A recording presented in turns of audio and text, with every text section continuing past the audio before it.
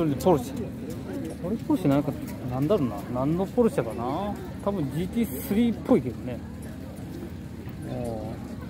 このアクセントの効いたこの紫のライン。ボンネットリップ。あとフロントガラス。ホイールと。本ピンの中もちょっとこう紫のそういうの入ってるね、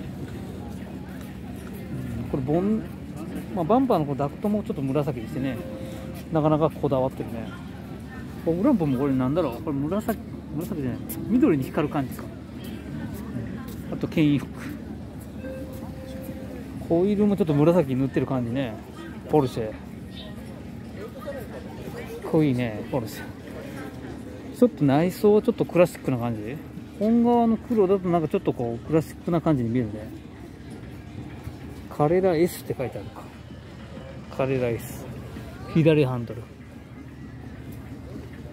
うんポルシェミシュランタイヤ。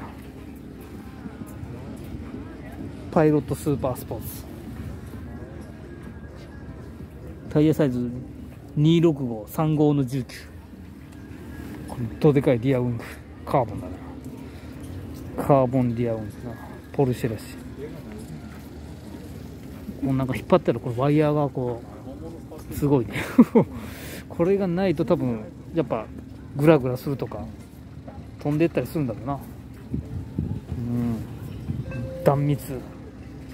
この野生的なマフラーね。これちょっとこう錆びた感じでいいね。かっこいいね。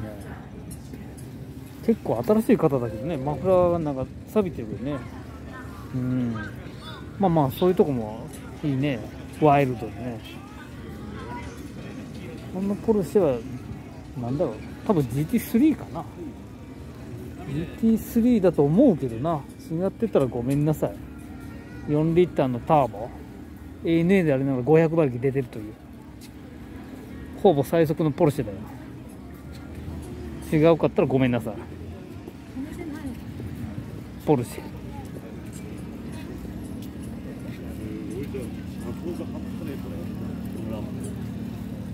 多分 GT3